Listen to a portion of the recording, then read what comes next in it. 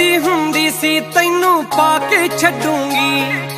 ਆਖਦੀ ਹੁੰਦੀ ਸੀ, ਤੈਨੂੰ ਪਾ ਕੇ ਛੱਡੂੰਗੀ। ਉਹੀ ਗੱਲ ਹੋਈ, ਮੈਨੂੰ